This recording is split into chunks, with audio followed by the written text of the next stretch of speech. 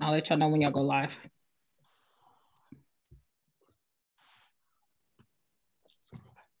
Mm-mm-mm.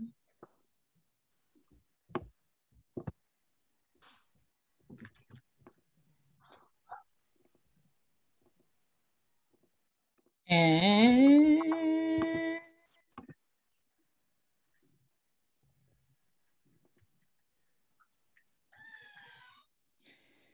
Well, good evening, everyone. My name is Kathy Greggs. I'm the co-founder and president of Fayetteville Police Accountability Community Task Force. Tonight, we have our Black History evening, Series 2022. And this is Where is Our Land? Is this our land or is our land in Africa or where is the Black people's land? Tonight, we have one of our partners moderating, Nakia Smith from Black Voters Matter. Nakia, Nakia here is the Southeastern Eastern Regional organizer for North Carolina. Hey, Nakia.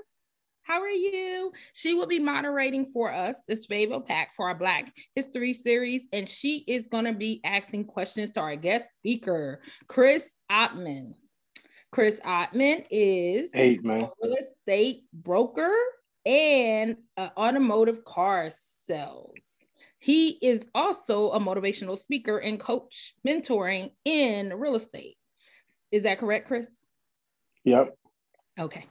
So tonight we're going to be talking about which land is our land and how does it look to us in the next century as we continue to go on and live on this US continent. So I will go ahead and pass this to Nakia. And any questions, please put in the chat and feel free to ask those questions in the chat. I was also add the links of Black Voters Matter so you can link on if you want to help and assist with volunteer work, canvassing, for the upcoming elections, as well as telephone banking. And then, of course, if you want to get in contact with Chris, I will add that he has a 5 a.m. broadcast that he goes into motivational speaking. So let's go ahead and get it started. Nakia is your floor. And thank you once again for coming to Fayetteville PACT Black History Series.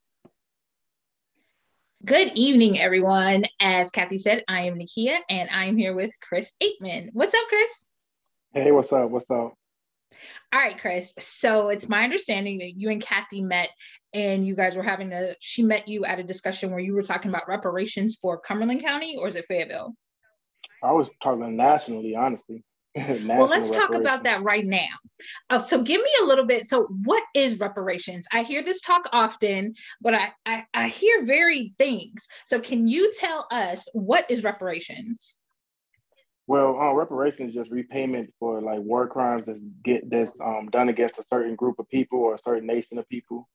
So you know, like back in the 1800s, the Jim Crow and um, everything that's been done to um, our people, Black people, um, it's just repayment for you know the disadvantages that we have we, we have had and generational disadvantages that we, we currently have. So it's pretty much just like the Jews had reparations from the Holocaust for the suffering of their people, um, us as Black people. I believe we deserve reparations as well because our ancestors never given a proper start in this country to begin with. So reparations is really just leveling the playing field and repaying the debt owed to the people that was mistreated and mistreated, abused, tortured, kidnapped, all them, all that type of stuff. Um, during the process of slavery and um, the process of you know the European continent conquering Africa and part and you know kidnapping us and taking us over here as prisoners of war. So yeah. Okay, okay. And what would that look like here in the United States with you know our government and all? To us, it okay. Well, I, I feel that to be honest, I, I feel I, I, don't see it happening. To be honest with you, um, honestly, I feel like if it was going to happen, it would have been happen. It would have been happened. You know, people been fighting for it. People been mentioning it. And as you see, politicians of nowadays don't mention it, sweep it under the rug. You know, all we get is um, pretty much handouts that's not really moving us forward, but getting us comfortable where we're at in a you know a lower class state. You know, welfare, Section Eight, government housing and things of that nature that kind of makes our people more complacent than uh, motivates them to move forward. So reparations would be something more realistic that can elevate us to a different um, social bracket. And I mean, rep- reparations not only finances, it's also you know land ownership and other things of that nature.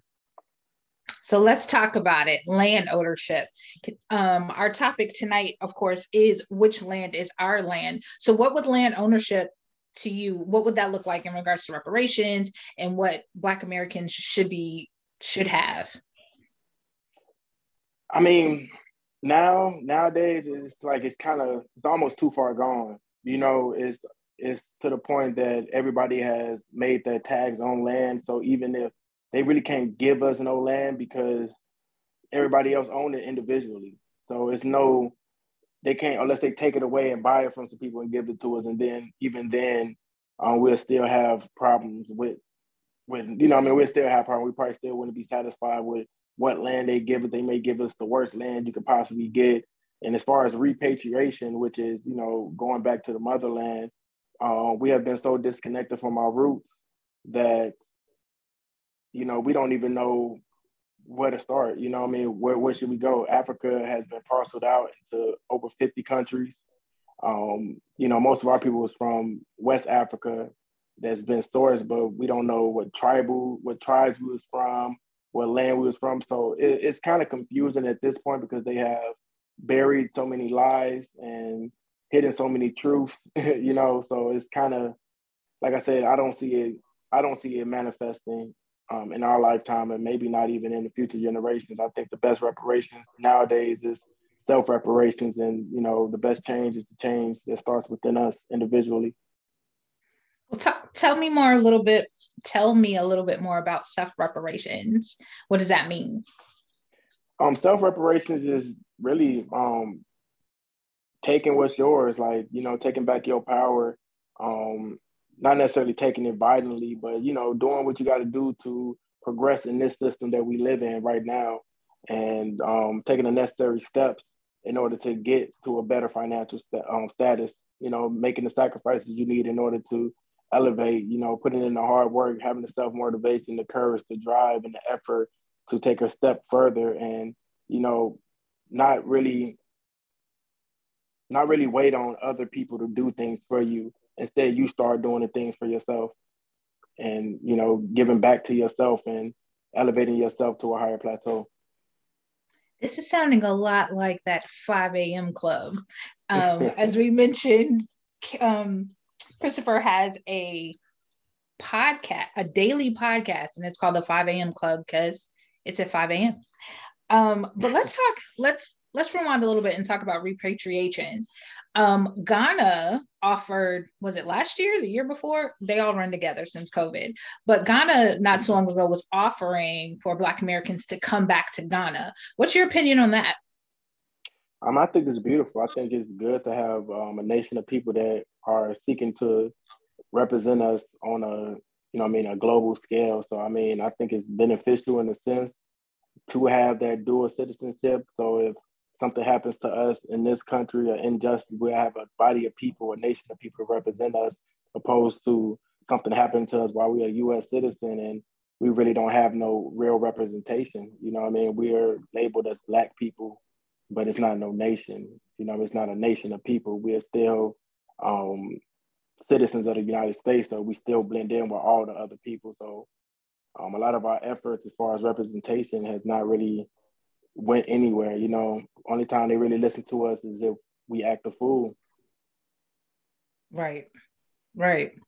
Well, so getting into that then, without acting a fool, how what are some steps that we can take to organize or to mobilize to get ourselves um, you you said it earlier to elevate ourselves what does that look like self elevation um, it's a process that really starts with yourself and really connecting with people who has that mindset. A lot of people don't have that mindset. A lot of people have mindsets of complacentness, um, just taking things for what it is, stuck in comfort. So I think the first step is finding like-minded individuals who have that mindset of self-elevation, um, surrounding yourself about around positive environments, positive situations, soaking it and um, assimilating positive information, positive books, positive videos, just changing our daily habits in order to elevate. Okay. So, what are some things that we can begin to incorporate into our daily habits? Um, I would say waking up early. Definitely. I think a lot of people like to sleep in. That's why I do the 5 a.m. club because 5 a.m. is a great time to wake up. A lot of people complain that it's not enough hours in a day, but you know, you sleeping away three to four hours out your day. Just waking up at nine or waking up at eight, you're sleeping a lot of your day away, and then you wait to nighttime, and then you're up late, and you know the late hours are not really productive hours because everybody else is asleep. So um, I think waking up early is definitely a start um, and just developing more habits, um, having a purpose. You know, I think a lot of people go throughout life without having a definite purpose or a chief aim in life or some type of direction. So they're just drifting along life just aimlessly. And that's the cause of depression. That's the cause of complacentness. That's the cause of lack of motivation because you have nothing you're aiming towards. You know, I think um, we set our goals so small and we're afraid to set bigger goals and set goals that are so-called out of reach. So I think think bigger, aim higher, believe in yourself, and trust the process, and stop trying to take shortcuts. Stop trying to take shortcuts. That's that's that's a huge concept, um, and you keep bringing up the concept of complacency all right, so, you know, COVID just happened. I lost my job, my kids, you know, I'm, I'm living paycheck to paycheck. Um, but you mentioned terms like complacency. How does one you know how, how how do you elevate how do you self elevate when you know it just seems like the world is against us or our world our immediate world meaning here in the us it's against us you know? Taxes are high inflation so on and so forth. How do you look how do you have a positive outlook for towards that? How do you not be complacent? How do you feel empowered? It's a matter of perspective you know what i mean? If you feel the world is against you then the world is against you. If you feel that the world is yours the world is yours um, everything is a process. You know, uh, even if people are living paycheck to paycheck, you know, we got to understand we applied for these jobs. You know, the job didn't come and say, hey, you're going to work here. So you're not being forced to do anything. Um, I think the main thing is not living in fear and being bold and being willing to take a risk on yourself and take a chance on yourself. I think a lot of people are complacent and, you know, it's easy to make up excuses. It's easy to have something to um, blame your situation on instead of taking accountability and saying, okay, I can do more. Okay, I don't like this job. Let me work towards finding a better job, or let me work towards um, making a making a way for myself. And I think a lot of people want the easy way out, and there's no easy way. You know, the easy way is the hardest way because when you take the easy way, you still have to cover your tracks and go back and fix this and fix that. So the easy way out is you know, working a job, um, going to get a job. And I'm saying don't work a job, but I'm saying if you're not happy with your job and you know I mean, you got to understand that you apply for that job. So you applied yourself for that position. So the same way you apply for that job, you could apply yourself to a higher position. You can apply yourself to get more out of life. And it's a process. It's not going to be easy. And you just got to understand that. Okay. So applying myself. I'm, I'm out here, I'm ready, I'm open to the idea. What are some tangible steps I should take? First thing is change your mindset, change your perspective, change your viewpoint. Um, we we are we tend to think with destructive thoughts. So destructive thoughts attract destructive and undesirable situations. So if you're constantly thinking destructively and you're constantly thinking about undesirable situations, that's what you're going to attract. So uh, the the first step is changing your mindset and molding your mind to have more constructive thoughts, have more positive thoughts, and um, believe in the process, trust the process, and don't give up because a lot of people give up at the first sign of struggle, at the first obstacles, but it's only when you overcome them obstacles and you persevere through them challenges that you will see success. Success will never exist without failure. And we got to understand we have to fail. We have to learn. We have to gain wisdom and we have to overcome them barriers in order to be successful. Okay. Um, we were talking earlier about the concept of Black utopia. Um, can you explain to us what that means to you? Black utopia, um, I think when I first came up with the concept in 2015, it was more of a um, intentional community where we all come together, we put our time, our money, our resources, our efforts, and everything together and buy our own land and build uh, maybe our own community within that land, build our own houses, have our own infrastructure, um, taking care of our, our basic needs in life, water, food, clothing, um, health care, and all of that, and just coming together as a collective instead of complaining about the government system and complaining about how the government system is holding us back and we can't um, we can't succeed in this system.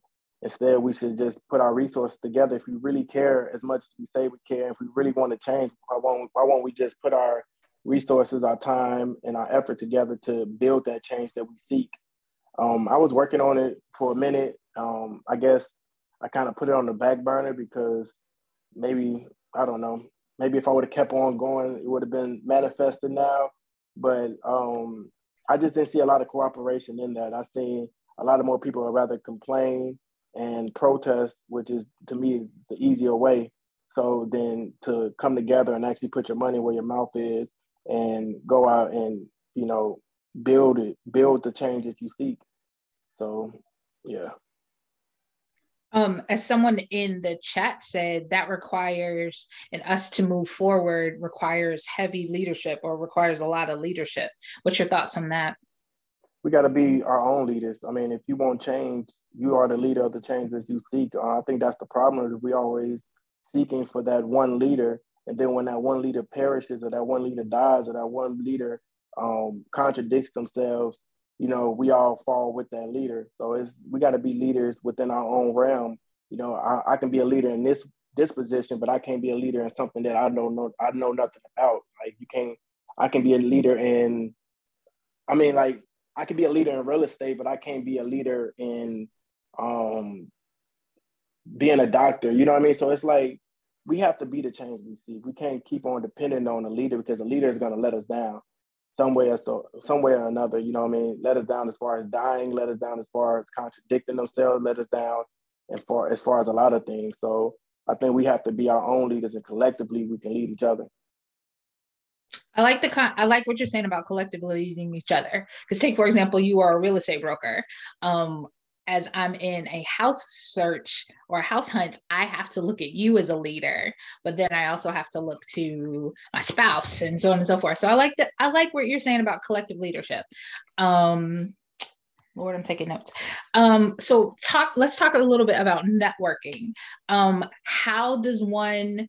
How do you? How, to achieve black utopia you're saying um, and i understand it as black collectivism like us as black people working more together as community and unity right so mm-hmm. how do how do you network to even get there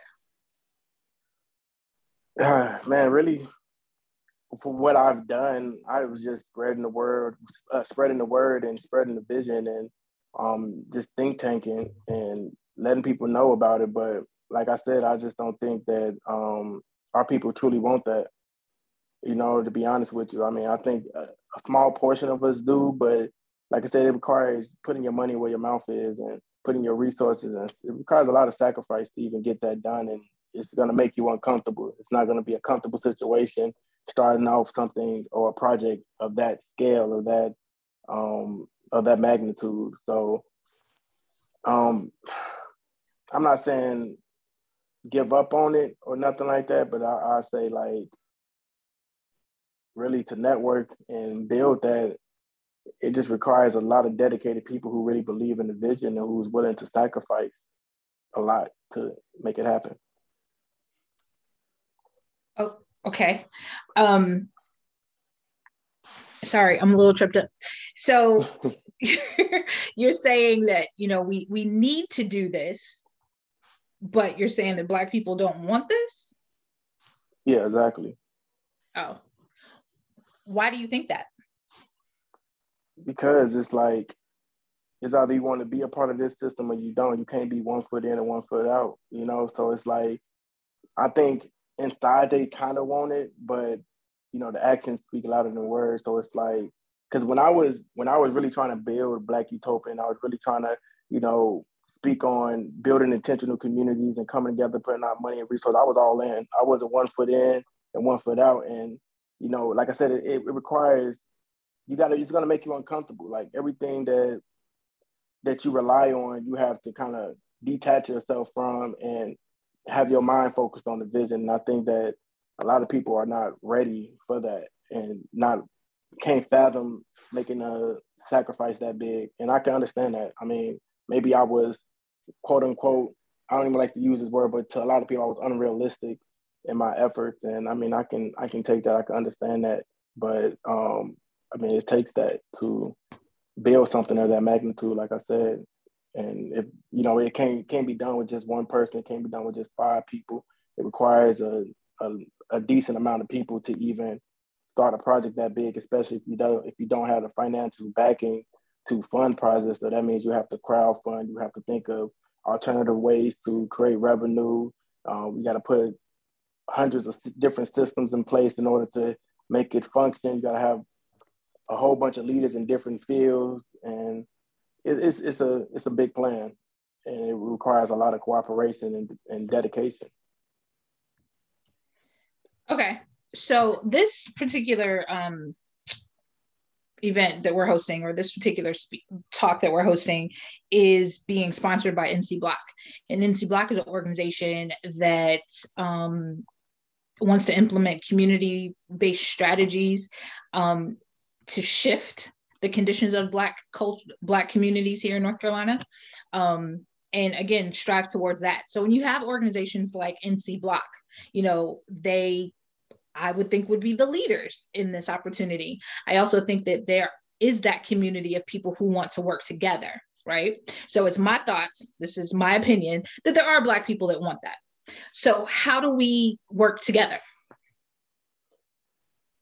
I mean we gotta let people lead in their own fields, and we gotta understand that we have to um, come together under one umbrella. You know, there's so many different organizations, and that's cool to have different organizations, but to have one one nation of people, you know what I mean? Like, and really understand that we need that collective.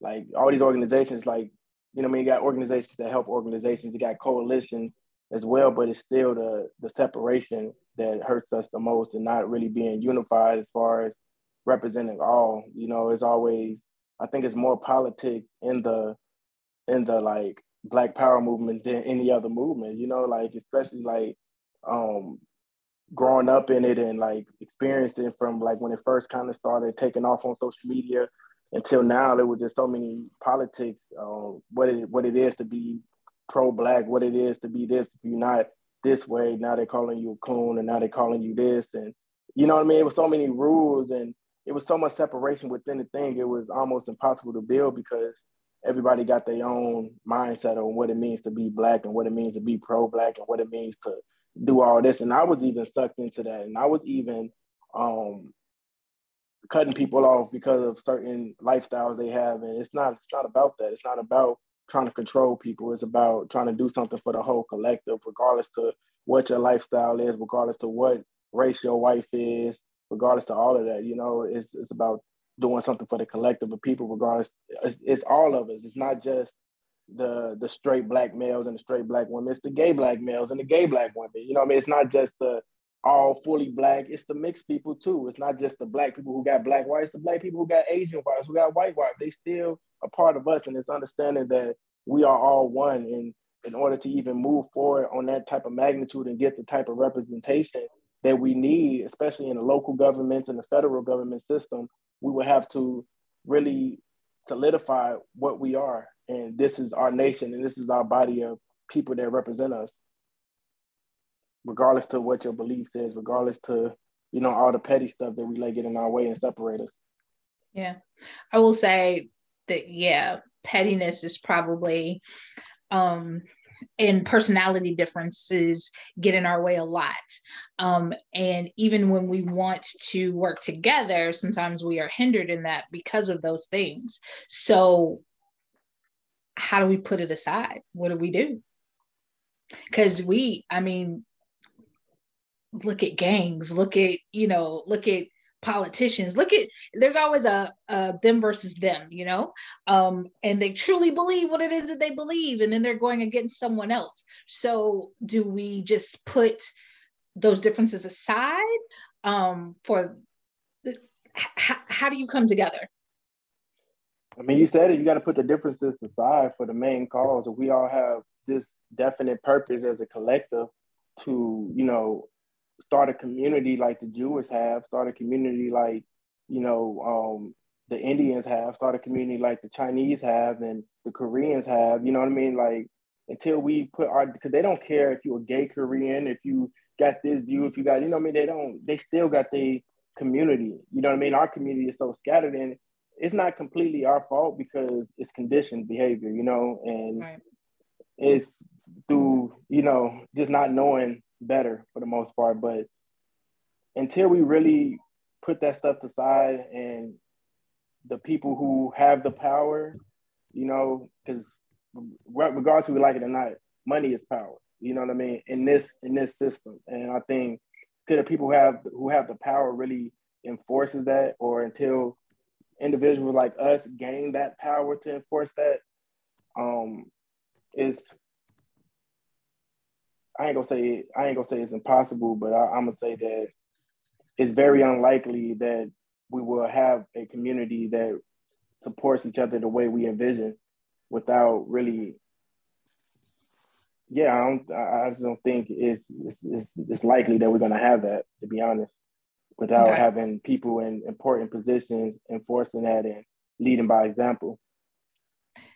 Okay, so one thing that's really um, been hitting me in my heart a lot lately is this seeming upheave in violence. Um, you know, you you live in Fayetteville, right? Mm-hmm. Yeah. So living here in Fayetteville, you know, it's you turn on the news, it's like every day there's some type of shooting or some type of, you know, someone got injured or someone got killed or something like that, right?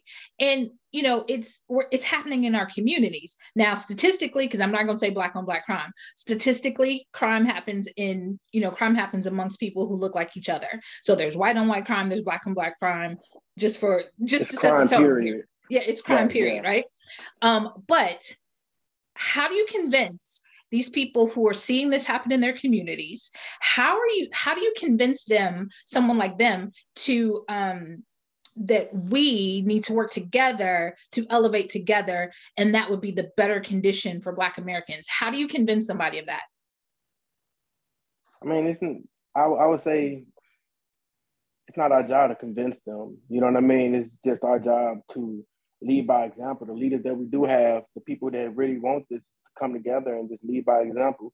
If me, you, Kathy, and 60 other people start really doing an intentional thing as far as intentionally pulling our money, our resources, and our time together to start doing um, businesses, to start, you know, competing as a community, it's going to show by our works. And then that's going to convince people through our actions, you know, going, knocking at people's door, telling them we've been talking for too long. You know, we've been trying to convince people for too long. It's time for us to just do it and lead by the example and be the message that we preach and just show by our actions. And if they're not convinced, then they're going to be left behind. Once it's built, they, they're going to be too late, and they they're not going to be the founders. So it's kind of like we got to convince ourselves more to convince them. We got to convince ourselves and convince each other, those who are like-minded, those who want that change, and put our time, money, effort, resource together to start making these infrastructures that can promote the change that we seek.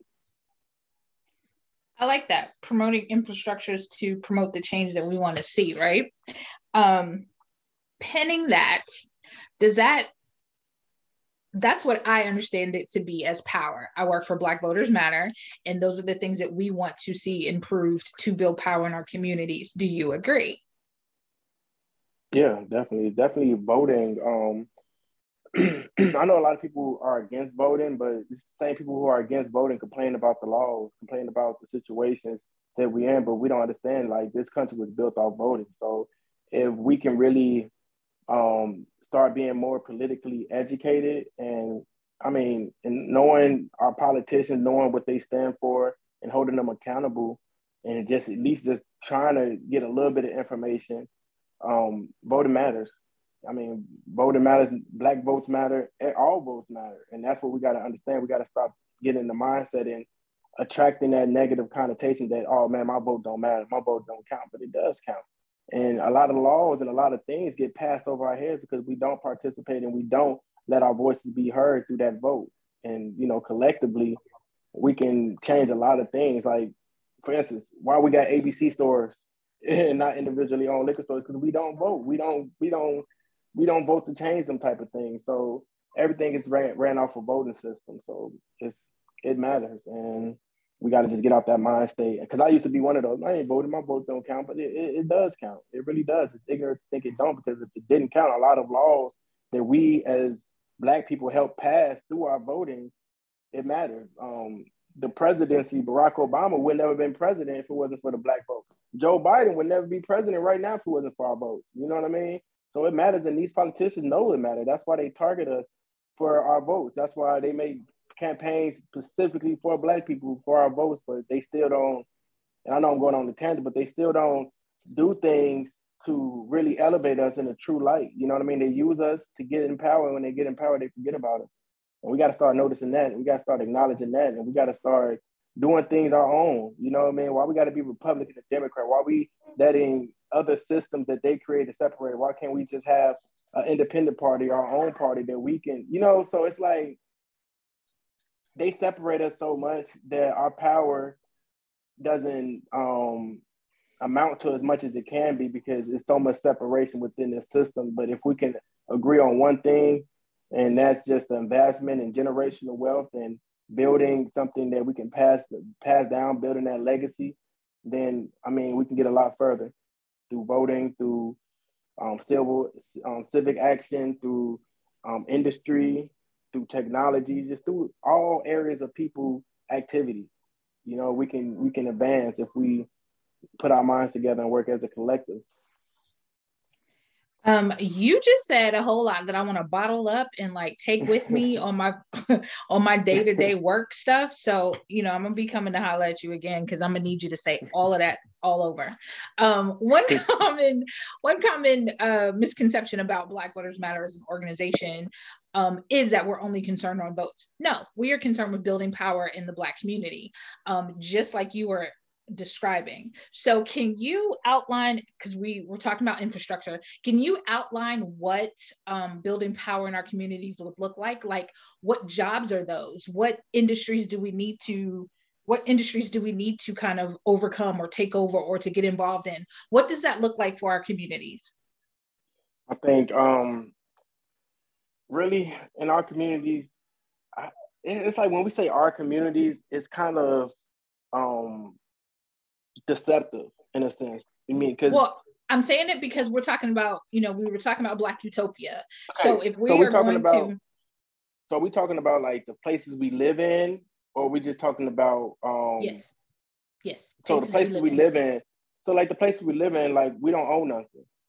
You mm-hmm. know, and I think that's the first thing. We don't own the buildings. We don't own nothing really. Like, and if we do own it, we own it on an individual standpoint. Maybe this black man own this building, this black woman own this building, and this mixed person own this building. But as far as coming together, forming an organization and start buying properties and buying pieces of land and buying things of that nature, that's how we can really.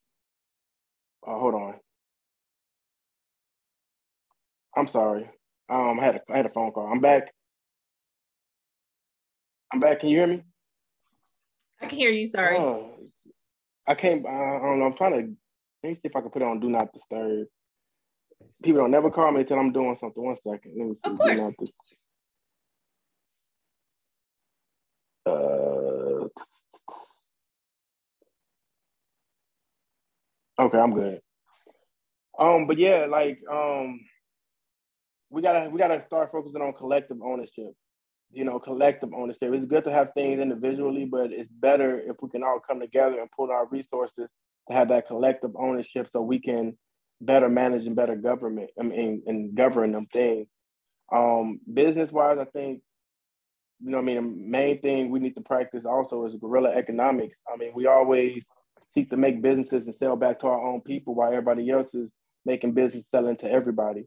You know, so it's it's like we gotta elevate our minds on businesses and do more than just sell clothes and food, not turn down the food and clothing industry, but it's more different business approaches than that. We got to educate ourselves. Even if it's self education, we have to expand our minds to different fields. Uh, definitely technology is something we definitely got to get in because that's the future. That's the way the world is going, and that's that's something that we don't have. Um, manufacturing, like we got to be manufactured. We got to start having our own exports, our own factories, our own things. And um, as far as jobs is concerned, I think we got to set the standard on on jobs. Like as we see, like corporations don't pay their people that much. I mean, per hour. So I mean, we can't say we want change and then we we hire our employees and we paying them the same amount of money that the competition is paying them. Let's let's do more for our employees. Let's do more for the people who work for us, and maybe they'll work better for us. Maybe they'll like their job and give better customer service in these restaurants, give better um, production in these factories.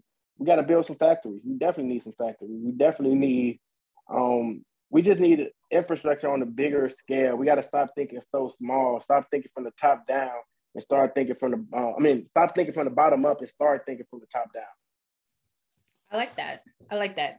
Um, so from infrastructure to we were speaking earlier about other systems.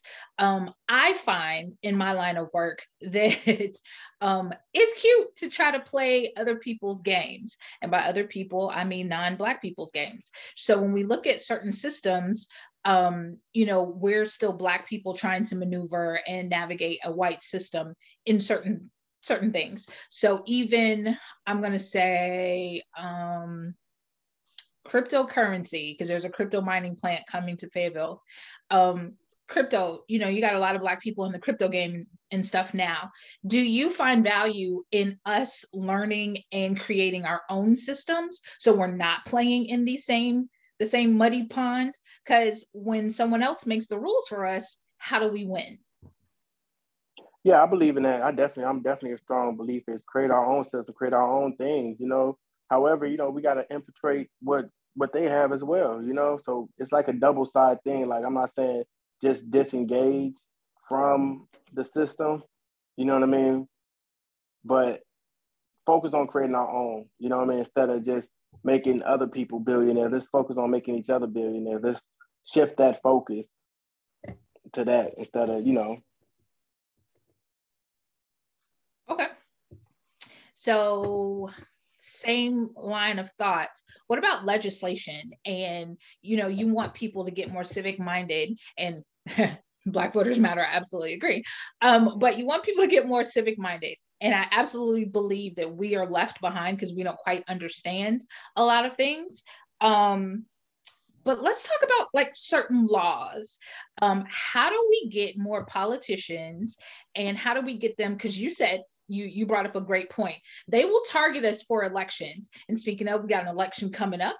Um, May 17th is our primary, and they are going to even locally they are going to target us as black communities um, but you said that we need to hold them accountable what does that look like when we have things like we have Fayetteville PACT, for example. Fayetteville PACT is working hard to make the police here in Fayetteville be accountable to us because they are here to serve and protect.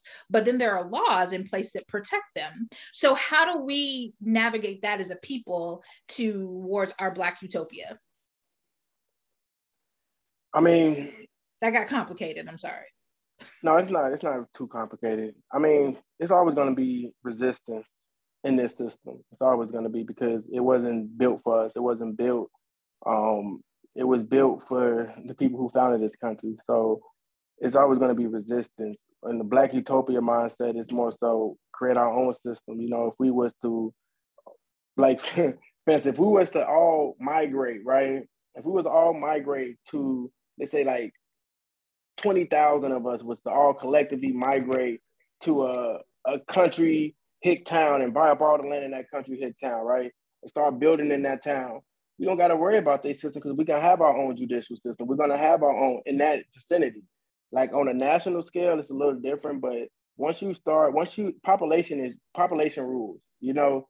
So if you got more people, you can have more votes, you can push more laws, you can pass more things. But um, in these systems that we are, that we're fighting against, we're gonna always have resistance because we still have the people who are with this stuff, the people who are down for the laws that we don't like in place with resisting us and doing it. So, I mean, that's why black votes do matter because the more of us who do feel that these things are unfair that's in place, if we can let our voice be heard, that'd be more population, that'd be more people going against these things. But um, I, I just feel that it, it's gonna it's gonna be a process. It's definitely gonna be a process, especially educating people on voting and getting people to understand the benefit of it. So it's, it's definitely a, a, uphill battle. I ain't saying it can't be done or it won't be done. I'm just saying it's gonna be it's gonna be met with a lot of resistance. It's gonna take time. It's not gonna happen overnight like we are wanted to. It's it's going it's something that you're gonna constantly have to go out there and be heard and go out there and educate people and let and kind of force people to care because people say they care but they really don't care. You know what I mean? You know, people so individualistic. They care when when they like it's like they care for vainglory. Like you think like like with George Floyd in a sense, like all them people who was out there marching and pro- protesting can't you you won't see all them people on the voting line. You know, they care for the vainglory. They care for the recognition and say, "Oh, I, I was at the George Floyd. I, I, did this and I did that," just to you know defend it. But when they, you got to be there when it really matters, though. Yeah, marching, protesting, that's good. But what about voting? Let's see them lines in the voting stands. Let's see them lines when it's coming to um, put our money together and, and start communities and start businesses and start infrastructure. So yeah, I ended there. no, no, no. That's listen, again, my job, I completely hear you, bro. Um, completely hear you. I'm going to bring up something a little sensitive.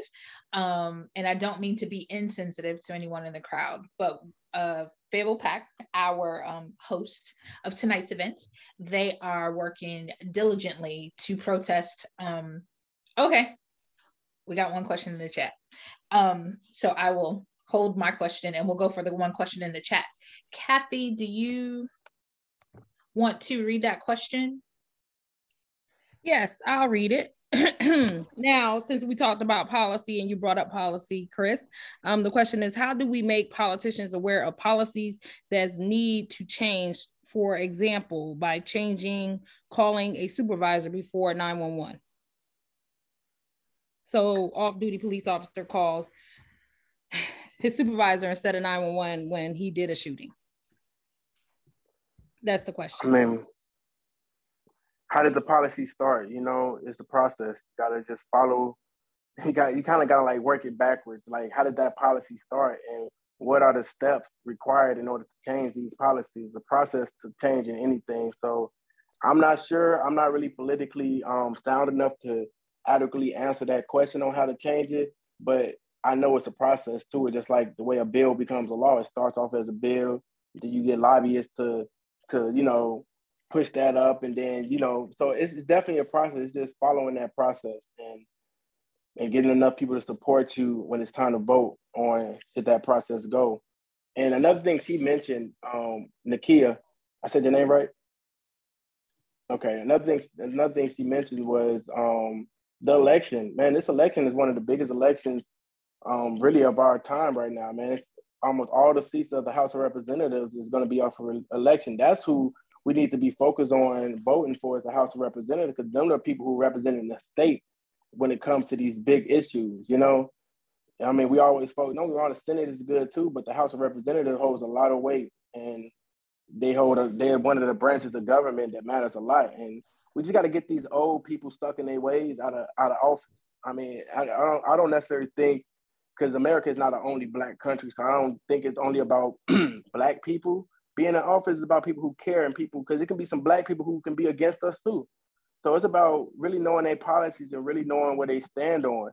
We got to get more younger people in office though, more younger people who want to see change, who want to see things better instead of worse. Because as long as these people who've been in office since the 70s are in office and we keep on allowing them to get the power because we don't care enough to, you know, vote, things are going to be slow changing. But if we really start looking at the people who've been in office and vote them out of office, that's when we're to see change.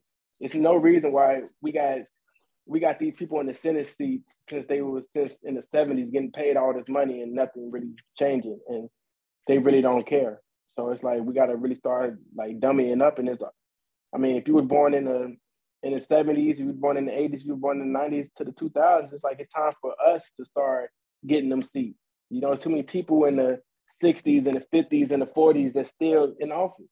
So I mean, we gotta we gotta do it for our generation. It's time for us to take control of power as a generation, not even just as a race, because a whole our whole generation of people think different, you know, than the status quo of the older people who was alive during Jim Crow, who was alive during segregation, who was alive and probably partook in that and probably, you know, got that closed-minded mindset and that old school way of thinking. It's a new era, it's a new time for evolution and change. So we got to really pay attention to our politics and stop voting these older people in that don't care about us. Uh, you just completely took me off my next line of questioning, so I'm gonna go with it. Um, I love how you brought up that you know we we got these there's going to be some people that kill me for what I'm about to say, but we got these old people in office, right? You know, like our president is in the 70s. My parents are 60 and I can't I, I don't let them handle certain things because because um so you know you you got a president running the country and he's 70 I too agree that we need to get some fresh blood in our political realm. Um and again we got this election coming up um and I'll go to yeah, we got this election coming up. What do you look for in a politician that you want to represent you? Because we especially have a local election coming up. We got mayor, we got city council, and we're going to keep this C3. So we're not going to promote any one candidate. But I do want to know what is something that we as Black people working towards a Black collective or working towards a Black utopia, what should we look for in our politicians? What are the things that we want them to say to, so we have a better idea that you know what? This is somebody who is looking out for us as a community, Black community. Just legitimate representation, you know, being fulfilling your promises, you know, um, showing by your actions that you actually care, you know, and not just by your words. You know, like we've been promised a lot of things, and a lot of them promises still ain't been fulfilled by the president now. You know what I mean? So it's like, um, and really grassroots politicians. You know what I mean? People who regular everyday people like you and I. You know what I mean? We got to start uplifting more grassroots politicians instead of getting these seasoned politicians who was in the game for this long. You know, we got to get more people from the grassroots, people who go through go through the same struggles as us and support these people. You know, I think we got to push away from Democrat and Republican and start going more so on the independent route because as you see, that's causing division in the country. As you see, you got the far right, you got the far left, and honestly, me personally, I can agree with both sides of it. You know what I mean? I can agree with some Democratic um, views and I can agree with some Republican views.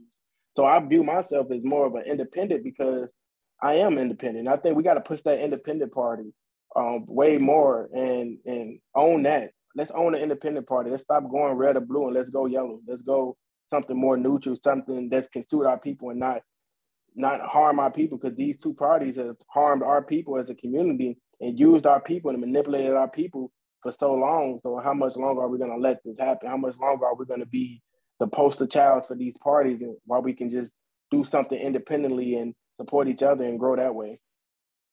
That's excellent segue to a question that comes from the chat. Um, when running, candidates tend to show up at like Black Black Lives Matter rallies and stuff like that, right? Do you believe that that hurts or helps their campaign? Um, it helps it. I mean, it helps it because you know it's for public eye though. Most time it's not they doing it because they know they're gonna get that black vote. So we gotta understand our votes matter, man. They want our votes, man. You heard when Biden was going against President um with President Trump, when President Trump and President Biden was going for um election, right? Man, every time I turn on the radio, I hear Ludacris on the radio, black people. I ain't never heard nothing like that. Not even when Obama was running. I didn't hear so much emphasis on black people voting until Biden, and that shows y'all how much they use our people, how much they want us, and how much our votes really, really, really, really, really matter. If they're gonna go to this extent, to the point they they literally point us out and signal us, they ain't saying Chinese people come vote, they ain't saying Indian people come vote, they ain't saying hey white people vote. Why they why are they targeting? That's to me that's kind of racist in my mind. Why are y'all targeting black people like this? Y'all not targeting any other minority group to vote but black people y'all not y'all not saying, hey, white people, y'all need to come vote.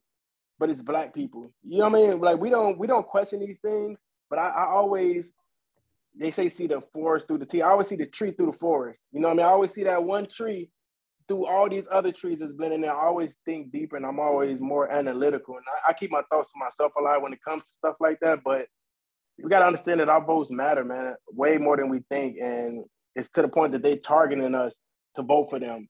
And we still ain't see no change in this long. These people don't really care about change, and they do. They want it real slow. You know, we got to go independent, man. I really feel that, you know, we got to step away from this Democrat Republican stuff because that's been tearing our country up. It started a whole civil war.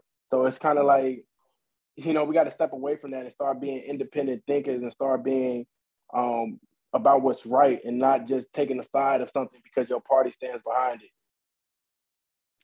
You um that's that's word. That's I I completely agree. You were talking a little bit ago about um policies and laws um and how we need to again hold these people we need to have hold these people accountable. And you were talking about an important race um talking about the representatives right? Um one other important race very important race that we have coming up is our judges. Both our local judges are on the elect or on the ballot this year as well as our um, so our district court judges as well as our supreme court judges here in north carolina. And as you may be aware um, it was the supreme court that decided our redistricting case um, and redistricting is huge because that determines who actually represents us um, or where our representation lies in the state. Um, so judges is an important race that we have coming up.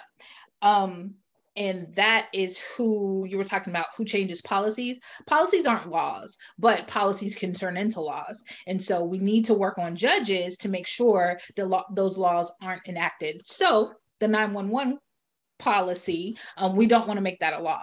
Um, and so we need to make sure that we have lobbyists in place to make sure that those things don't become bills that become laws. Um, but speaking of judges and speaking of redistricting do can you tell the people a little bit about how important redistricting is towards black people towards black utopia? Can you talk about how how important that is um as far as redistrict redistricting that's a, that's that's a tough word right there. It's tough word. I know right? As far as that is concerned um i don't know exactly what they're i'm not too privy on what they're exactly what they're doing but i can tell you like if they widen, make the district bigger, it can um, it can kind of mess up your representation. So like if you live in a lower income area of Fayetteville, so to speak, you know, since we're in Fayetteville, and your area has been expanded and you got it's been expanded out and it has the higher income level and the higher income level um, area kind of overpopulates the lower income level. So a lot of things is I mean a lot of people in the lower income level is not going to be represented properly because it's it's too entangled. You know what I mean? It's kind of like you got to keep the districts um in a I mean you got to you got to keep the district so each district can be represented and if somebody in a higher level is running that district it's like a lot of things for that lower side of town is not going to be done and they're going to put that higher part of town in priority if that makes sense i'm that's not my forte so I'm it made sense to me. Um, okay. it made sense to me. Um, so let's let's get into that a little bit deeper, right?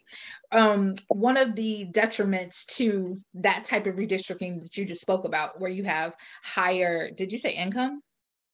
Yeah, high, higher yeah. income. Yeah. So if we have, we're going to make a fictitious district. So if we have District 11 here in Cumberland County, and District 11 um, primarily used to have low income residents, right?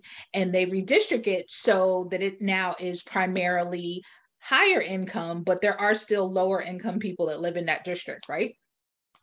Um, we were talking about investments and how, as Black people, we need to get more into investing and stuff like that. But we know that when you have these higher incomes these people are able to back politicians and you know make higher contributions to campaigns and stuff like that. So, when it comes to Black collectivism or Black utopia and working towards us getting power in our communities, would you say that that's a good reason that we should be investing so that we can, we too can, you know, build up those communities and perhaps even back politicians if we wanted to? Yeah, definitely. Politicians are both. I mean, we all know that, man. I mean, it's, it's sad to say, and people know like politicians are bought. Like you give whoever giving the most money to the politician, the politician's gonna work for that person that's who's paying them, that's who's feeding them, that's who's supporting their movement. So definitely, we definitely gotta um, buy some politicians and uh, have more grassroots politicians that we don't have to buy that genuinely care. Though I think that's the main thing because I think a crooked politician is the more the people who want to be bought. But if we get people who are like us, like even like the judges. I don't know the requirements of being a judge, but I mean, if they voted in office, that should be it shouldn't be no big criteria. We need to get people that look like us in them judge seats, judge seats, not just look like us who came from the same struggle, who can empathize with with these um with with, with people. Because like what I've noticed in a lot of court systems, a lot of these old 80 year old judges who just throw the book and railroad people. Like for like petty crimes sometimes, or you know what I mean. It's really it's really biased judgment, especially when it's time for sentencing. You'll give um, a person of color 75 years, but you'll give a person of your color um, 10 years for the same crime. So I think things are like that is it's just due to lack of empathy, lack of um, just lack of lack of empathy well, on whose part? Lack of empathy towards the judge. Like the judge don't have no empathy. Like an old white judge most of the time is not gonna have empathy towards a young black male because how young black males have been portrayed in the media through culture, through news, through whatever, through their own um, preconceived notions of young black male. They they look at us as they look at look at us as criminals already. So they think they're doing humanity a, a, a favor by sentencing sentencing this dude a maximum possible sentence opposed to a white dude who's not portrayed in media, who's not portrayed in all these things as a criminal. So I think we got to get more people who empathize with us in these judges, in these seats, like for real. Because if not, then a lot of stuff is gonna, a lot of a lot of things we're fighting for is gonna fall in vain because we don't have nobody on our side or nobody who can empathize and relate to our struggle and where we're coming from. Okay. So, you know, going back to what we were talking about earlier, you know, you have so many politicians and judges are sort of politicians. And so with judges race races coming up with um, some city council, mayor, uh, senator, all those other races with all of them coming on the ballot this year. We have a long ballot, by the way. But in this meantime, how do we determine or what are some some advice you want to give to the people watching um, how do we determine who's for us and who's not? Because like the question was asked earlier you know they're coming to black lives matters rallies or they're coming to Fayetteville PACT rallies um, for jason walker and whatnot. And as you said that looks good to their campaign. But you mentioned a good point like grassroots um, politicians are good because you know they have more empathy or they can't be bought.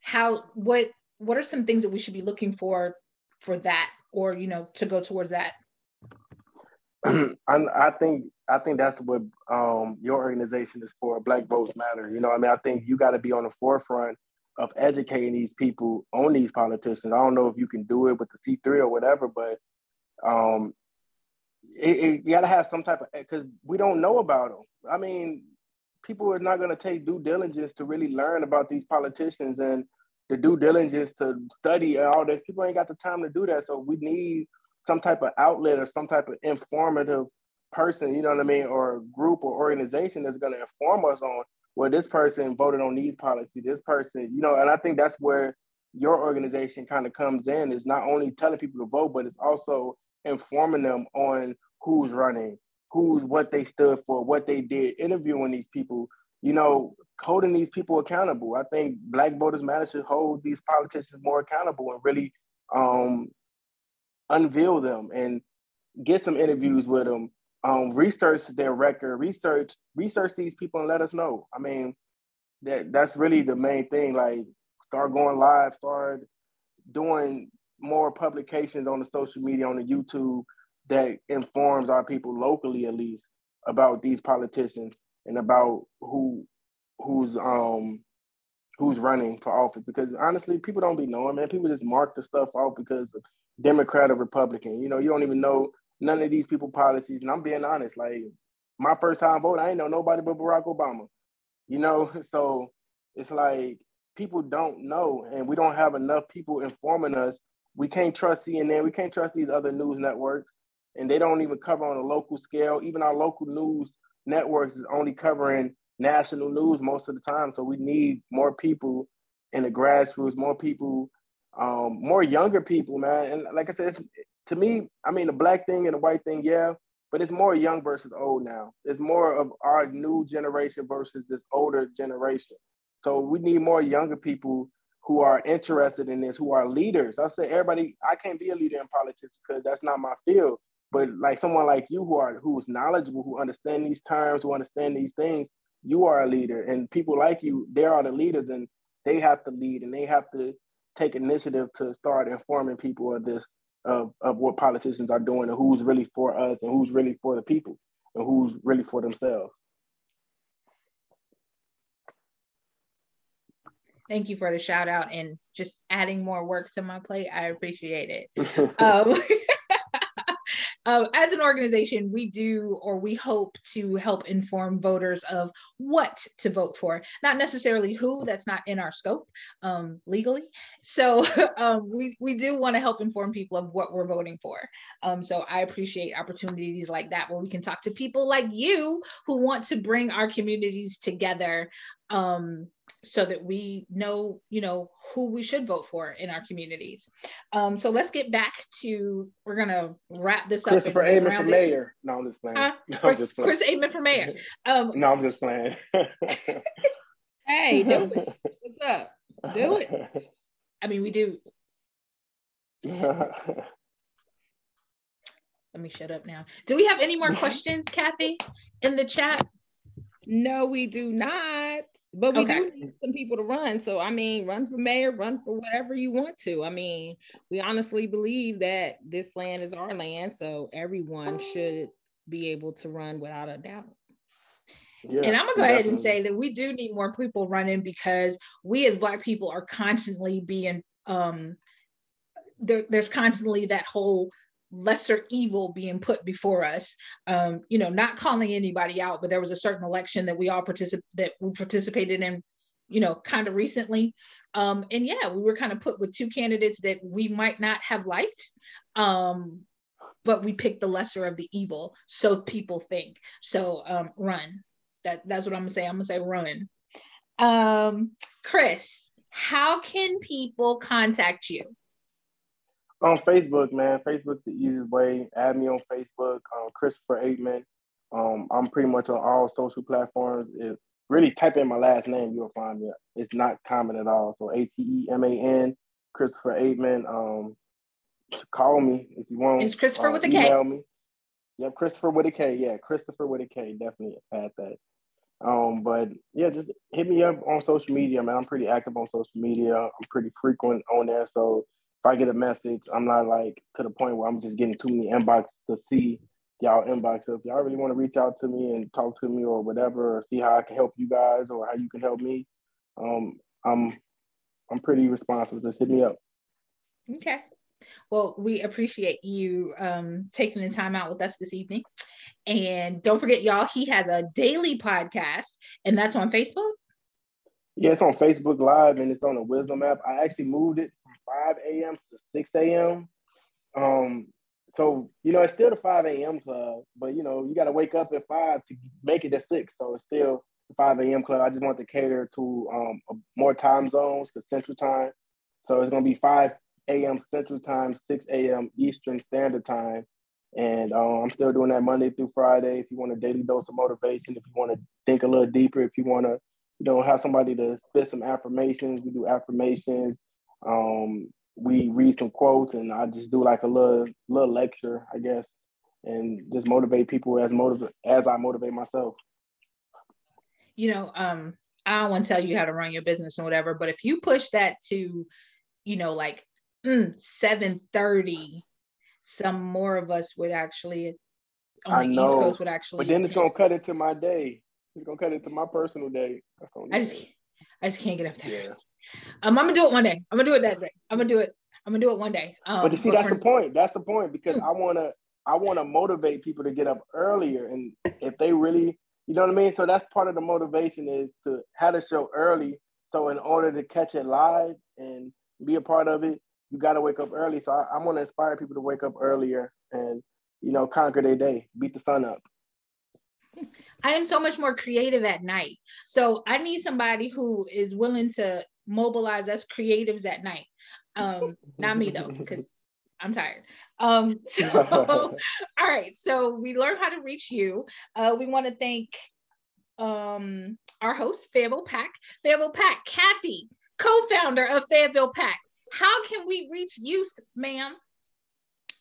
Well, you can reach us at Fayetteville PACT Facebook page inbox because we're currently working on our new website right now as we speak. So we'll be getting that all hype hyped up, you know, 3D level, maybe HD.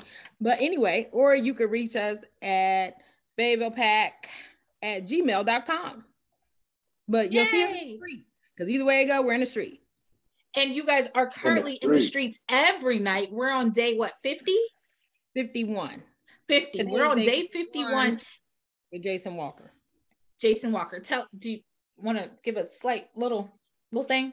Little blurb? Well, Jason Walker was killed by off-duty deputy sheriff, lieutenant deputy sheriff here in Cumberland County in January 8th, and we're still waiting on the complete uh report on from the NSBI. Now FBI is involved, but we're just waiting for a public service announcement on where the case is right now, autopsy report, something. But we're on day 51 and we usually go out to the market house every day at 5 o'clock p.m. and protest the we want to get Jeffrey Hash arrested, um, just like anybody else would have been arrested if they killed someone in the street. So that is our objective. But our other objective is definitely to get uh, civilian police oversight authority here in Fayetteville and Cumberland County um, because we need to make sure our citizens are able to discuss and decide reprimand for police misconduct, not our elected officials. Well said, ma'am. Well said. And I'm Nakia with Black Voters Matter. Kathy has put my um, information in the chat. You can reach me at blackvotersmatterfund.org. And that's all we got this evening. We want to thank you for joining us. Oh, and shout out to our sponsor of this event, NC BLOC. NC BLOC. NC B L E O B L O C, NC BLOC.